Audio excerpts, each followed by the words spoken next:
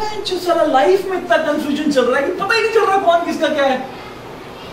और गलती से भी, गलती से भी अगर स्पर्म से डीएनए मैच हो गया तो मैं चूत मेरा तो चूतिया कर जाएगा यार।